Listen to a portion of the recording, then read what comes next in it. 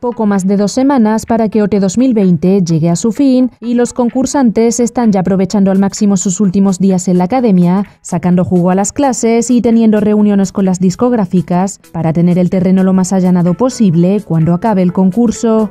Asimismo, estamos viendo los triunfitos cada vez más relajados frente a las cámaras, a diferencia de cuando volvieron del parón, siendo los más destacados Hugo y Eva, que han pasado de mostrar una absoluta frialdad a comportarse como toda una pareja.